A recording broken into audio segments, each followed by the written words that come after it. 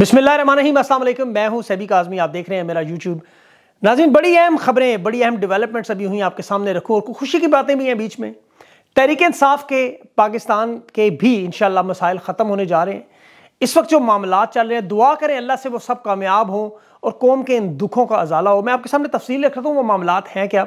इसके साथ साथ लंदन प्लान अपने आखिरी मरहले में हिचकियाँ लेते हुए निगरान वजी अजम लंदन पहुँच गया अमेरिका में मुलाकात के बाद अब नवाज़ शरीफ शहबाज शरीफ और मरीम नवाज़। आखिरी इतला के मुताबिक खुफिया मुकाम पर इनकी मीटिंग, उसकी तफसील आपके सामने रखता हूँ। सनम जावेद, उनकी रिहाई। उनके बच्चे, उनकी वालदा बड़े खुश थे। एक लाख के मुचलकों पर सनम जावेद, रुबीना, जमील, अफशाम, तारक असमा शुजा पाशा अली हसन, हसनैन कादरी, इन लोगों की ज़मानत। आपको पता जो कोर कमांडर हाउस पे हमला था उसकी। आलिया और जो बाकी लोग हैं, यासमीन राशिद हैं उसमें और खदीजा शाह, इनकी अभी ज़मानत नहीं, उसकी वजह क्या वो मैं आपको बताता हूँ। अमेरिका में बड़ा एहतजाज जो यूनाइटेड नेशन के बाहर, आपको पता है, और सऊदी अरब में भी नेशनल डे था, वहाँ पर भी बहुत बड़ा एहतजाज इमरान खान के लिए नारे मारे गए। जमात इस्लामी ने कौमी और सूबाई हलकों के उम्मीदवार फाइनल कर लिए। बड़ी इंपॉर्टेंट बात है, पंद्रह दिनों में बाकी लोग भी तैयार हो रहे हैं, नून लीग यकम से सात जलसों का मनसूबा बना रही है। अब किसका, किसके साथ इतिहाद हो सकता है, तरीके इंसाफ का प्लान क्या है ग्रीन सिग्नल क्या मिला है? लाहौर में एक बड़ा सेमिनार हुआ, जिसमें एतजाज़ हसन, हामिद खान एयाज अमीर, शेर अफजल मरवद लियाकत बलोच, बड़ी तबाहन किस्म की बातें, गद्दारी में भी आती हैं और वफादारी में भी। तीसरा रास्ता अब नहीं है। वो मामला भी आपको बताना होगा। सुप्रीम कोर्ट में इस वक्त सात बड़े अहम मामला हैं। वो अहम केसेस कौन से हैं? इसके साथ साथ पाकिस्तान के तमाम बड़े उलमा के सामने भी एक मामला बड़ा अदब और एहतियात से आखिर में ज़रूर रखूँगा, गुस्ताखी ना हो। सबसे पहले तफसील आपको बताऊँ, निगरान वजी अजम अकवा मुतहदा में जनरल असम्बली की तकरीर। इस तकरीब में, तकरीर जो कर रहा था, हाल में बैठे हुए मैंने लोग गिने यकीनी तौर पर। इसके लाओ लश्कर को छोड़ के तकरीबन दस बंदे थे शायद। इसी मकाम पर इमरान खान की तकरीर थी, जिस पर अर्दगान अपनी सीट से उठकर आकर बोसा देने पर मजबूर हुआ। ईरान के सदर ने खड़े होकर मरहबा कहा। सऊदी अरब से लेकर फ़लस्तीन तक तमाम उम्मत मुस्लिमा को यकीन हो गया था कि अगर उम्मत मुसलमा का कोई लीडर हुआ तो वो ये होगा इमरान खान। इसीलिए जब दो दफ़ा ओ आई सी बुलाई तो ये सारे सर के बल चलते हुए इस एक तकरीर ने इमरान खान की पाकिस्तान के इमेज पूरी दुनिया में बुलंद किया। हम सबको फ़ख्र हुआ कि इमरान खान पाकिस्तान का आज शर्मिंदगी और अफसोस है कि हम कांगो और बरकीना फासो से भी नीचे चलेगी ये निगरान वजी अजम मुजालिम का ज़िक्र कर रहा था, यकीन कर हिंदुस्तान के लोग हंस रहे थे। उन्हें यकीन नहीं आ रहा था कि ये शख्स हमारे पर इल्ज़ाम कर लगा रहा है मुजालिम का। बिल्कुल उसी तरह, जिस तरह मरियम नवाज़ पचास रुपये के स्टाम पर भागने वाले बाप को जला वतन कह रही थी। निगरान वजी अजम इस तकरीर के बाद पाकिस्तानियों को नहीं फेस कर सका, छोटे से दरवाजे से काले रंग की गाड़ी में अपने अगले मिशन की तरफ़, लंदन। ये लंदन प्लान इनके मनसूबे की आखिरी कड़ी। नवाज़ शरीफ, आपको पता है। उनकी हालत ये है कि इन्हें अंदाज़ा हो चुका है, शहबाज शरीफ की हुकूमत के बाद खुद नून लीग का सर्वे इन्होंने करवाया। उनके नतज थे कि नवाज़ शरीफ अपनी ज़ाती नशस्त भी जब्त करवाएगा। ये इस्तकबाल के लिए लोग एक करोड़ पच्चीस लाख, आपको पता है, ख़त गुरबत से नीचे चले गए सोलह महीनों में और इनमें से दस फ़ीसद इस्तकबाल के लिए आ गए तो मियाँ साहब का प्लेटलेट्स सब जो है ना वो दरम बरम हो जाना है।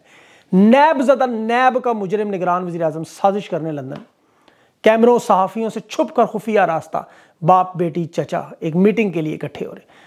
सर अंदाज़ा करें, इस मीटिंग में कौन लोग हैं? तीन वजी अजम नवाज़ शरीफ तीन मरतबा बना, शहबाज शरीफ सोलह महीने और अब निगरान। और हालत ये है कि ये दुनिया के सामने नहीं मिल सकते, चोरों की तरह मिल रहे हैं। वजह, शहबाज शरीफ अच्छी तरह जानता है।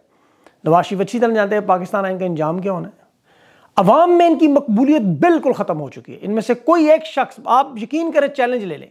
चले जा बाहर किसी मीडिया को नहीं, खुद अपने मोबाइल पर पहले दस लोगों से, अपनी मर्ज़ी के लोगों से ये सवाल पूछ ले, आपको जवाब मिल जाएगा। कौन मकबूल है? अवाम लोग किसको वोट दे रहे हैं? अवाम को मकबूलियत मिलती है बयानी, इनका बयानिया क्या है? जनरल बाजवा और फैज़ का ट्रायल इन्होंने अवाम को पता नहीं, भेड़ बकरी समझा हुआ है कान उनके बंद है बह रहे हैं, आँखों से अंधे हैं अवाम, या बेवकूफ़ है? या इन्हें समझ नहीं आ रही कि 16 महीने पहले जनरल बाजवा से इमरान खान की हुकूमत इन्होंने गिरवाई। शहबाज शरीफ को फर्द जुर्म वाले दिन वजी अजम बनाया जो अपने भाई का पचास रुपये का स्टाम दे के भिजवा चुका था लंदन और उसकी गाड़ी चला के जनरल फैज़ गया। तमाम बुजरान के टीवी चैनल पर बैठ के ये बात मान चुके हैं कि पाँच, आपको पता है 2019 में सात महीने बाजवा के साथ डील चलती रही, इमरान खान की सात महीनों की हुकूमत के बाद। मामला इनसे शुरू हो गए। खुद इनके गुजरा। इमरान खान को उन्होंने बताया कि बाजवा को खुद इन्होंने एक्सटेंशन दी, नून ली के लोगों ने। राना सनाउल्ला ख्वाजा आसिफ मान चुके हैं। शरीफ को हुकूमत मिली मरीम नवाज़ की ट्वीट आई थी अलहमदिल्ला फिर समदी इसहाक डार को खसूसी तौर पर ट्रांसपोर्ट किया गया। एयरफोर्स वन में मीशत संभालने के लिए। नवाज़ शरीफ ने भेजा। शहबाज शरीफ लंदन जाकर उसे हदायत लेता रहा। सोलह महीने में नैब की तरमीन तमाम केसेस ख़त्म कराए, तमाम मुंजमद सासे बहाल कराए। चौबीस सौ अरब रुपया जो पाकिस्तान में इकट्ठा हुआ, पाँच हिंदुस्तान के जहाज़, यहाँ आके इनका सारा माल यहाँ से लेकर निकल गए। नवाज़ शरीफ को पता है कि ईस्ट इंडिया कंपनी से लोग शदीद नफरत करते हैं। इमरान खान की हुकूमत गिराओ तो सिर्फ़ बाजवा का नाम आता है। तो वो अब बाजवा के नाम पर आवाम से हमदर्दी लेने के लिए बाजवा और जनरल फैज़ के नाम बयानियाँ बना रहे हैं। पीपल्स पार्टी संदूरा कुछ ये नहीं ट्रायल चाहते कभी भी। इनका अगर मामला ना बना तो फिर मौजूदा एस्टेब्लिशमेंट पर तनकीद करेंगे, इनके साथ खुल के थोड़ा अपना इलेक्शन का माहौल बनाएँगे। लेकिन ये डर नतीजा क्या निकलेगा? इसके लिए इनकी इनवारुल हक से मुलाकात हो रही है काकड़ से। ये समझते हैं आवाम को इन बातों का पता नहीं। अल्लाह जाने ये किस दुनिया में रहते हैं, कौन सा सस्ता नशा करते हैं? मरियम नवाज़ करिए मेरे वालिद जला वतन थे। ये वही है जो कहती थी मेरी प्रॉपर्टी नहीं, और उसी प्रॉपर्टी में खड़ी होकर कह रही है। कि मेरे वालिद जला वतन थे। हालाँकि पिछले पाँच साल से ये आवाम को ये चूरन बेच रहे हैं, नवाशी बीमार है, इलाज करवा रहा है, इसलिए वो पाकिस्तान नहीं आ सकता। इस दौरान वो इटली के पिज़्ज़े खाने जा सकता है, स्पेन जा सकता है, स्विट्ज़रलैंड बैंक में अपने पैसे गिनने जा सकते हैं, इसराइल, हिंदुस्तान से मुलाकातें कर सकते हैं, अफ़गानिस्तान से भी मिलता रहा। रंग बरंगे मफलर, खुले पाँचों वाली पेंट पहन के, आधा मुँह पे निकाब, रोलेक्स की घड़ियाँ देखने, तेरह हज़ार की कॉफ़ियाँ पीने जा सकते हैं। पता नहीं इन्होंने अवाम को समझा क्या? अब इनके पास अवामी मकबूलियत नहीं है। अब ये सिर्फ़ कोशिश कर रहे हैं कि इंटरनेशनल स्टैब्लिशमेंट अमेरिका, बरतानिया, ऑस्ट्रेलिया के कंधों पर बैठ के आए। यही आखिरी रास्ता इकतदार का और कोई वास्ता नहीं देखिए, छह मुलाकातें हैं आपके सामने, अमेरिका, बरतानिया, ऑस्ट्रेलिया, तीनों के साथ। दिन दिहाड़े निगरान वजी अजम के सामने जो अभी इनका मामला ख़राब हुआ गुजरा वाला। वाला शहबाज शरीफ कहता है, मैं गुजरा वाला नहीं, आप उनसे पूछे, आपने मुर्गा खाया, उन्होंने बटेरे खाए। ये आपको बता देंगे। बहरहाल ये उल्टे इतने पक्के मुँह से झूठ बोलते हैं, इनका टैलेंट इनके पास है। वो मियाँ अजहर ने कहा था ना कि माशाल्लाह, जनरल रानी साहबा बिल्कुल अपनी वालदा मोहतरमा पे इतना पक्का झूठ बोलती हैं, इस खानदान पे ख़त्म है, यकीन करें। अब ये सिर्फ़ स्टेब्लिशमेंट के लिए बैठे हुए एक दफ़ा इकतदार में हमें ले आए। अब जो 10 फ़ीसद लोग इनको चाहने वाले, सिर्फ़ 10 फ़ीसद हैं। वो वो लोग जो 10 अरब का मीडिया पे लगाया, जो उनके ब्यूरोक्रेट्स ने भर्ती कराया, जिनको उन्होंने खाया हलाल करेंगे। सात जलसों का मनसूबा इन लोगों को पता है अच्छा इमरान खान का सिर्फ़ ईमान मज़बूत नहीं, वो सियासी रहनमा भी बहुत बड़ा है। इमरान खान सियासत भी इनसे ज़्यादा जानता है, वो अपने असूलों पर डटा है, लेकिन वो ये जानता है इमरान खान कि ये लोग अगर एक मतबा इकतदार में आए तो फिर पाकिस्तान को ठीक करना नामुमकिन है। अभी जो गदर मचा, तबाही मची सोलह महीनों में, उसे ठीक करने के लिए तीन चार साल चाहिए। ये आगे तो फिर तो काम खत्म है। इन लाए पढ़नी पड़ेगी। इमरान खान लचक ज़रूर दिखाएँगे। मुफाहमत का पहला नतीजा मुजाकर का पहला नतीजा आपको नज़र भी आ गया। अब ये मामला इतनी जल्दी हल नहीं होगा, देखें, क्योंकि स्टैब्लिशमेंट अपनी शरात पर मामला मनवाना चाहती है। एक सौ सत्ताईस लोग उन्होंने छोड़े, सनम जावेद वगैरह मामले, लेकिन यासमीन, राशिद, खदीजा, शाह, आलिया, हमजा, ये लोग अभी अंदर हैं। इन्हें नहीं छोड़ेंगे अभी। कंपनी को जिन लोगों पर ज़ाती गुस्सा है, जैसे शरियार अफरीदी है, मुराद सईद है, उनके मामला इतनी जल्दी तय नहीं होंगे जब तक खुद इमरान खान मैदान में आके फातह के तौर पर हलफ उठाएँगे उस दिन।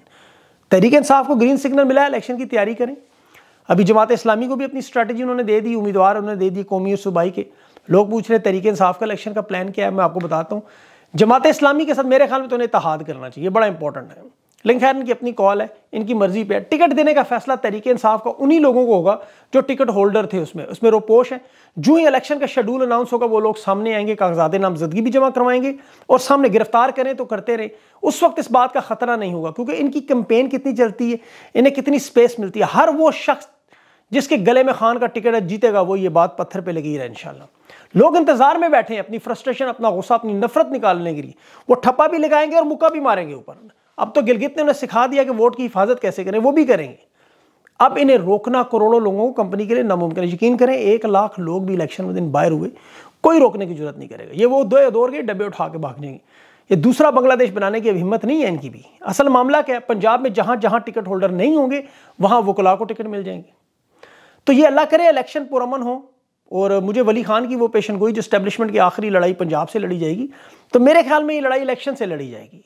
अवाम लड़ेगी इलेक्शन से लड़ेगी और इलेक्शन से इनको हराएगी। वोट देकर इन अब लोग ये सवाल पूछते हैं, अगर ये मामला तय हो रहे हैं, मुफाहमत मुजाकर चल रहा है मामला तो तहरीक इंसाफ और मुश्किल कम क्यों नहीं? देखें याद रखें, ये दबाव बढ़ाने के टैक्टिक्स होते हैं। किसी तरीके से ताकि कानूनी कार्रवाई, ये बहुत डरे हुए हैं, आपसे ज़्यादा डरे हुए हैं।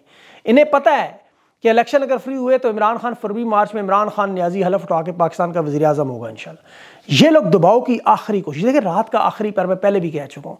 सुबह की जब पहली किरण निकलती है तो अंधेरा ऐसे गायब होता है जैसे था ही नहीं। जिस तरह जयाउल्ला के मार्शला की बात करते हैं, आपको लगता है किसी माजी की। अभी कोरोना की बात करें, कुछ अर्सा पहले, आपको अब याद भी नहीं होगा वह कैसे था। इसी तरह आपको ये सब भूल जाएगा। आपको उस वक्त इमरान खान से आटा, दाल, चीनी के रेट से आपकी लड़ाई होगी।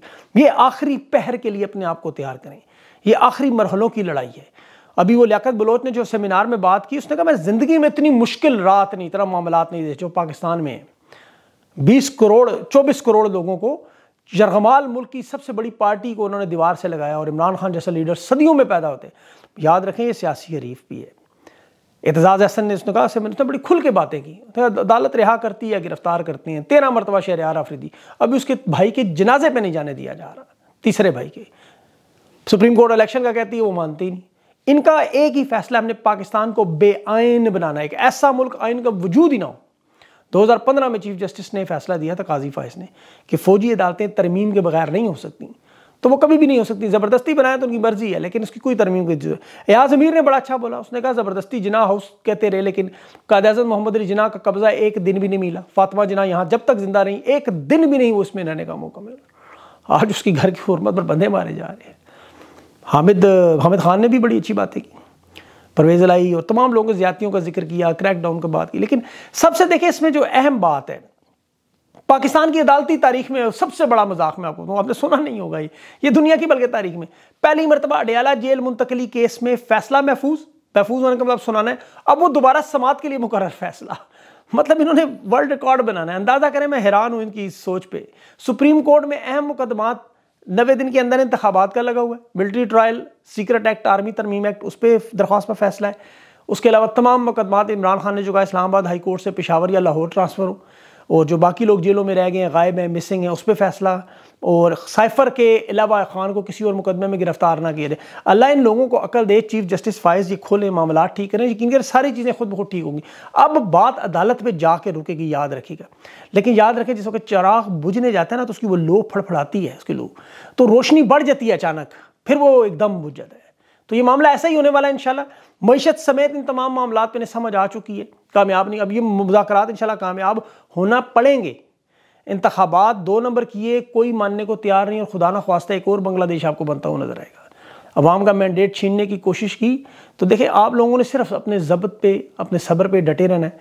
और ये जो आपको कहते हैं ना बार बार नवाज़ शरीफ, अगला वजी अजम आ रहा मामला हो गए, ये हो गया, वो हो गया फलान ये आपके हौसला तोड़ने की बात। आप सिर्फ़ इलेक्शन की तैयारी करें। इलेक्शन कंपेन की तहरीक इंसाफ को कोई ज़रूरत नहीं है। यकीन करें, ये सुबह इलेक्शन करवा दें, तब भी आप ही की जीत है। इमरान खान जलसों की, आप पहले ही वो सेंचुरी सेंचुरी मारी थी, बावन जलसे थे। इमरान खान को और तरीके इंसाफ को अवाम के पास जाने की ज़रूरत है अवाम को आपके पास आने की ज़रूरत है अवाम मजबूर होकर आ रही है, उनके पास और कोई रास्ता नहीं, इसलिए कंपेन को भूल जाए, कोई ज़रूरत नहीं है अपने खौफ और डर को निकालें बस। आइनी ज़िम्मेदारी, कानूनी ज़िम्मेदारी, अल्लाह ने आपके ज़िम्मे काम लगाया, वो करें, हक सच पर खड़े, कानून के दायरे में रह के अपना काम करें। इलेक्शन वाले दिन अपनी ताकत का इजहार, अब मैं थोड़ी सी बात जो उलमा से कर रहा हूँ मुफ्ती तकी उस्मानी साहब तारिक जमील साहब हैं, आपको पता है, शहनशाह नकवी साहब हैं, बड़े सारे उलमा हैं। इन तमाम उलमा से मैं एक बात करना चाहता हूँ, इस पाकिस्तान को बनाया गया ला इला के नाम पर पार्लियामेंट के बाहर लिखा, पाकिस्तान का मतलब क्या? ला इला कुरान पढ़ें, आप दीन पढ़ें, दीन यही कहता है ालिम कुफ्र का निज़ाम चलता है, जुल्म का नहीं। या तो ये सारी चीज़ें आपके सामने जो रोज़ आती हैं, ये जुल्म नहीं है। नवाज़ शरीफ को पचास रुपये के स्टाम्प पे भेजा अबादुररहमान अपने बेटे को नहीं मिल सका। एड़ियाँ रगड़ते बच्चे मार रहे हैं। औरतों के साथ जो जुल्म और ज़्यादती हो रही है। आप उलमा हैं, आप हमें दीन सिखाते हैं, आप हमें बताते हैं, हम आप लोगों को फॉलो करते हैं। चाहे जिस मर्ज़ी फ़िका मसला कि आप लोग हैं, लोग आपको फॉलो करते हैं, आपकी बात आपका ये हक है? फ़र्ज़ है। आप बताएँ लोगों को ये इस्लाम के काम नहीं हो रही है, जो जो तमाम मामला हैं। आप अगर इस वक्त नहीं खड़े हो सकते तो फिर हमें तो उस दौर के उलमा भी याद आ जाते हैं, जो यजीद के दौर में भी नहीं खड़े होते थे। तो आपका ये काम है लोगों को बताना कि जुल्म है, जबर है, गदर है। इसको रोकना, इसके ऊपर बात करना आपका फ़र्ज़ है। इस्लाम सिर्फ़ हमें नमाज़ पढ़ना नहीं उस पर अमल करना भी सिखाता है। अमल से बनती है ज़िंदगी जन्नत भी और जहन्नम भी। वो ये सारे आपके लेक्चर हम सुनते रहते हैं सारी ज़िंदगी। आप, आपका काम है हमें बताएँ हकीकत में। लोगों को, नौजवान बैठा हुआ इस वक्त जो मायूस है, उनको बताएँ कि ये गलत है, ये जुल्म है। हो सकता है आपकी बातों से जो आपके फॉलोअर हो, उन्हें अकल आ जाए, वो जुल्म करना बंद कर दें। तो ये आपका काम है, मेरा ये पैगाम बर मेहरबानी, बहुत इज़्ज़त और एहतराम से इन तमाम कराम तक पहुँचाएँ। ये लोग जो बेचारे रोपोश हैं, जो छुपे हुए अपने घरों में परदेसी हुए हैं, इनके कसूर है ना, अदालतों में लाएँ, एक सिस्टम है कानून है, उसके तहत लेकर आएँ। ये गायब किए जा रहे हैं, छुपाए जा रहे हैं एक नया ड्रामा लगा दुनिया पूरी में। क्या पूरी दुनिया में किसी मुल्क में ऐसी वारदात होती हो तो फिर आप बता दें। लेकिन ये तमाम काम रोकने में उलमा का भी बहुत बड़ा किरदार है। अगर वो अपना किरदार अदा नहीं करते तो फिर इन उलमा में और वो जो उसको यजीद के दौर में बैत करते हैं कोई फ़र्क मुझे नज़र नहीं आता। अपना ख़ास ख्याल रखें। अगली वीडियो तक इजाज़ें अल्लाह हाफ़िज़।